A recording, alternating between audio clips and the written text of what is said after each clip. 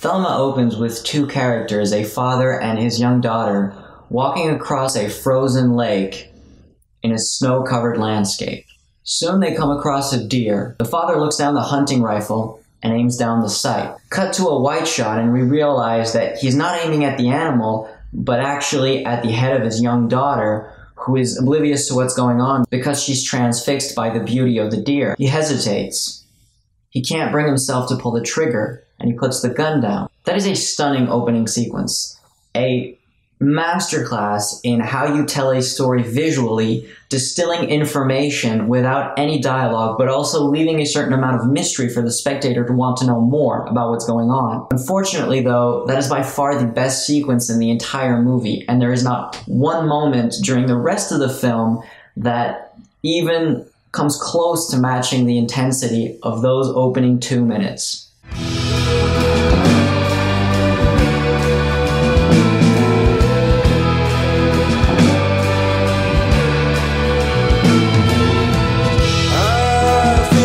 So strange.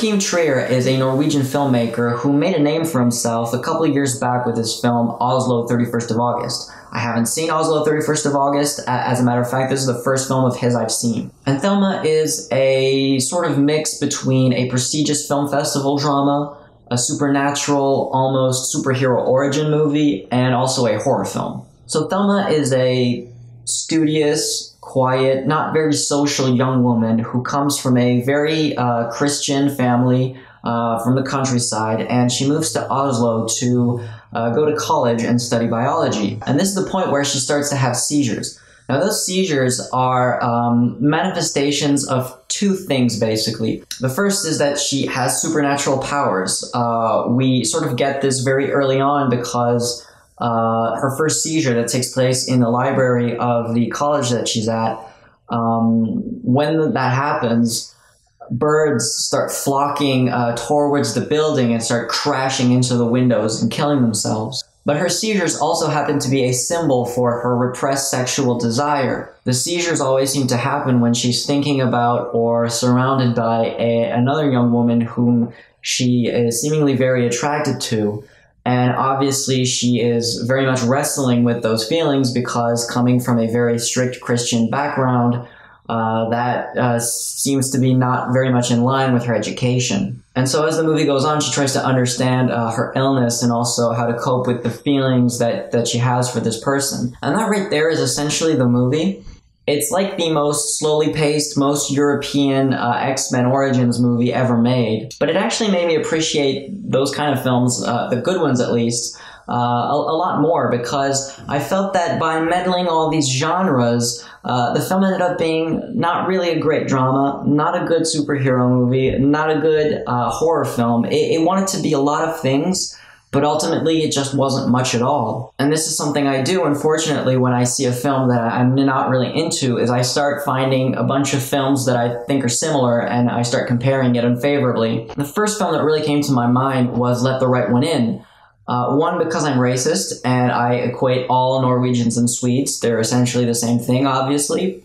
Uh, but it was more for the uh, um, appearance of a supernatural and horror within a world that's seemingly realistic. Uh, and also because there's just so many shots in the film that are in public pools uh, in those two films, and you know they're right to do so. We all know since Cat People that uh, pools are eminently cinematic. The second film I thought about a lot during Thelma, and is probably a better comparison, is The Witch by Robert Eggers. Um, we don't know a lot about what's going on with Thelma. The movie's not very keen on giving us a lot of information.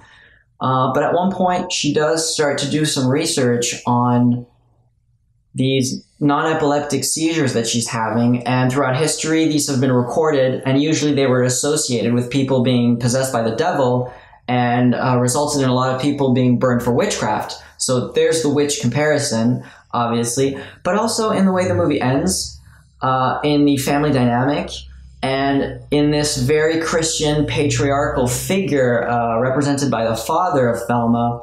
Uh, I just couldn't stop thinking that the film was heavily inspired by The Witch and that the director really loved that film.